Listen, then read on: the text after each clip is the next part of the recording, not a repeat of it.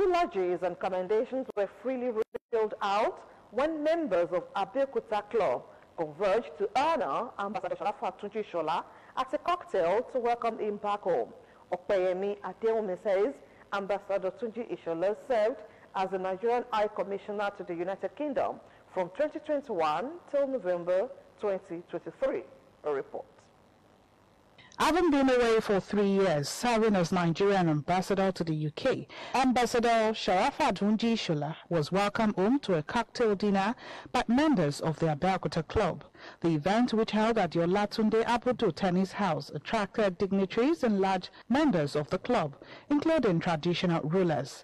Described as brilliant, knowledgeable, and an astute leader, whose leadership traits are worthy of emulation, the president of Abeokuta Club, Dr. Abdul Fattah Adewale Adiola, noted that Ambassador Sharafa Tunji Shola made Nigeria proud while holding sway in the United Kingdom. He did very well. Everybody was saying that while he was there. And we want him to know that what you did there permeated to the ordinary people, and people are happy. There were goodwill messages from the Alake of Egbaland, Obadedotun Aremogbatebo, the Oshile Okionu Egba, Obadedapo Adewale Tejo and the Olowo of Owu, Obasaka Matemilola and other members of the club. The celebrant, Ambassador Sarafa Dunji Shula, showed his appreciation at the honor. To have Alake, Oshile, and Olo seated to honor one in Egbaland, you can't ask for something better than that. I felt highly elated, and uh, one could not have asked for better than this.